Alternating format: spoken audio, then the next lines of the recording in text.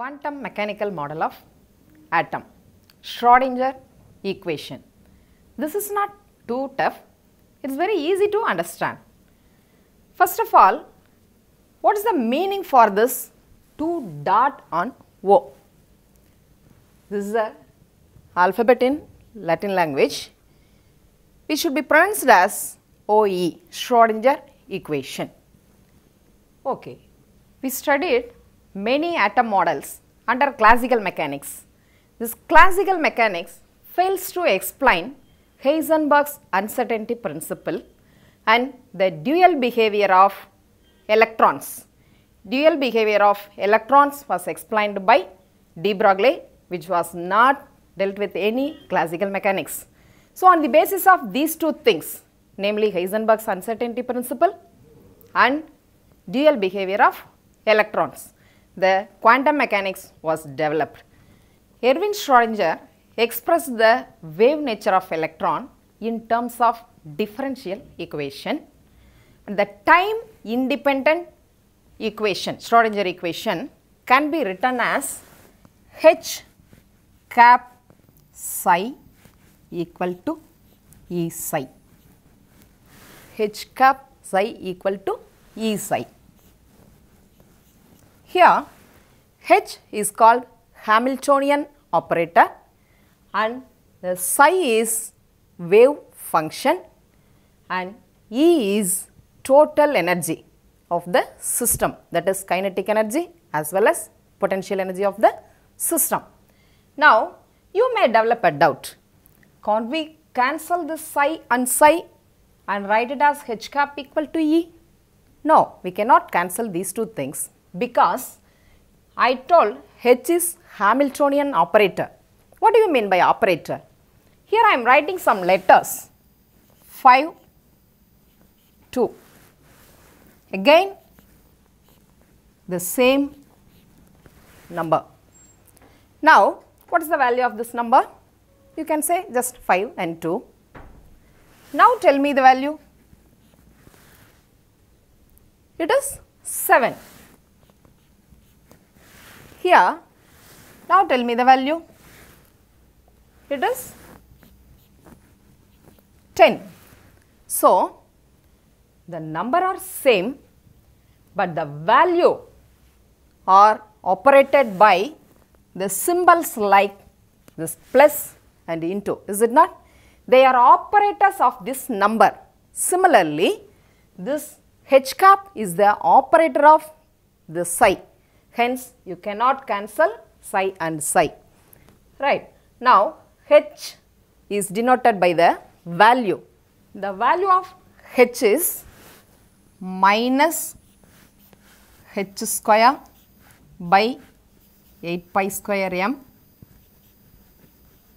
into dou square by dou x square plus dou square by dou y square plus dou square by dou z square plus v.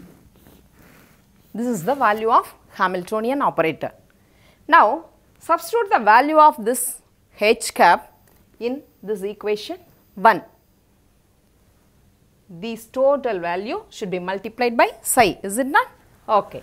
Now, applying the value minus h square by 8 pi square m into this should be multiplied by psi.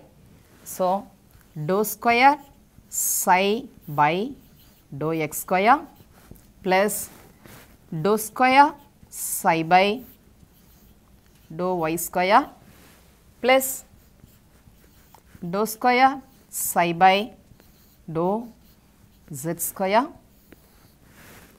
plus v should be multiplied by psi again. v psi equal to what? Equal to E psi.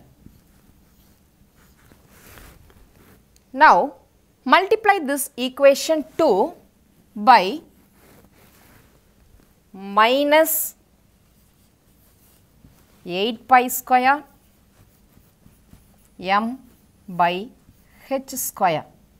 Multiply this whole equation on both sides by the term minus 8 pi square m by h square. So, write the equation minus 8 pi square m by h square into minus h square by 8 pi square m into dou square psi by dou x square plus dou square psi by dou y square plus dou square psi by dou z square plus multiply this term also by the term minus 8 pi square m by h square. So, minus 8 pi square m by h square into v psi equal to minus 8 pi square m by h square into e psi. Here you can say this is the negative term, is it not? Now, let us simplify this equation 3. These two terms can be cancelled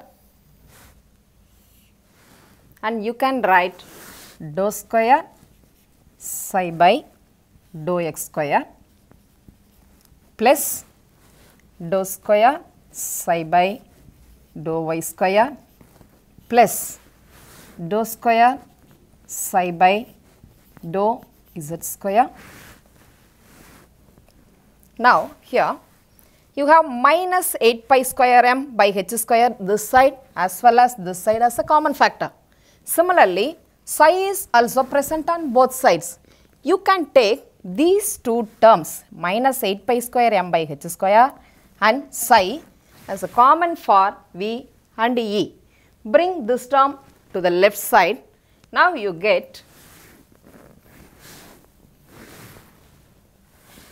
plus 8 pi square m by h square minus v plus e. If this term bring to the left side, this minus will become plus. So, here we have plus e minus v.